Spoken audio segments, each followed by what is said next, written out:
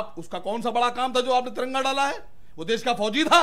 इखलाक का जो मर्डर हुआ देश का फौजी है वो। किस किस सर व्यक्ति सर एक, सर एक मिनट। का खंडन नहीं अलीमुद्दीन अंसारी के कातिलों को क्या माला पहनाई गई। अरे आप मिठाई आराम से खिलाई गई। सिर्फ़ और सिर्फ़ मोदी सरकार में ही. सिर्फ़ और सिर्फ़ मोदी सरकार में ही मुसलमानों के साथ।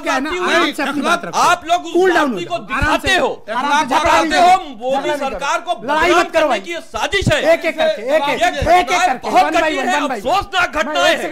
हर दौर में गुजरी है। हर दौर में गुजरी है। खाली मोदी सरकार को बदनाम करना ये अच्छी बात नहीं है। झगड़ा मत करो ऑलराइट देखिए मैं क्या सेंसिबल डिबेट हम लोग करें ना। मैं आप सबसे करता हूँ आपने तो युद्ध का अखाड़ा बना दिया डिबेट ना हो गई तमाशा हो गई। आप लोग झगड़े पे मत आओ। बताओ अगर नहीं पसंद आ रही डिबेट मैं बंद कर देता हूँ डिबेट। बंद कर दूँगा। तो। आपसे डरे हो आपसे डरे डराओगे क्या इनको? कातिल ने कौन? डराओगे कातिल ने कौन डराओगे क्या हिंदुस्तान में।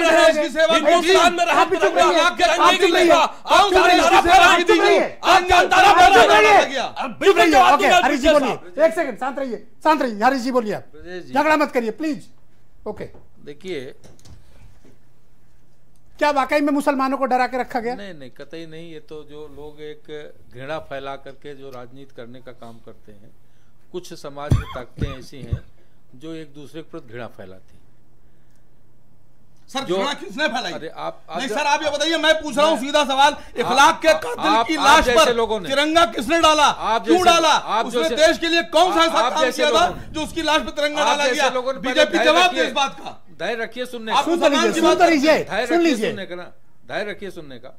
आप आज इतना क्यों आक्रामक हो? भाई सुनो तो बात। धैर्य रखिए सुनने का। पहली बात हाँ, तो ये धैर्य रखिए तो तो बोलूँ और नहीं मैं चला जाऊँ आप अपना नहीं आप बोलिए आप बोलिए। जी। ब्रजेश जी देखिए आप भी बहुत सीनियर जर्नलिस्ट हैं बहुत सारा समाज का और रा, राजकाज का अनुभव है आपका। देखिए समाज में कुछ ऐसी फोर्सें हैं जो छोटी छोटी चीज़ों को इतना बड़ा पेंट करती हैं कि और उसी से घृणा फैलाने का काम करती हैं उसी से लोगों को गुमराह करने का काम करती हैं। जिस अखलाक के मर्डर की बात और जिसकी बात कह रहे हैं कि वो जेल में मर गया तो उस पर तिरंगा डाला गया उसको सलामी दी गई मुझे लगता है कि वसीम साहब इनके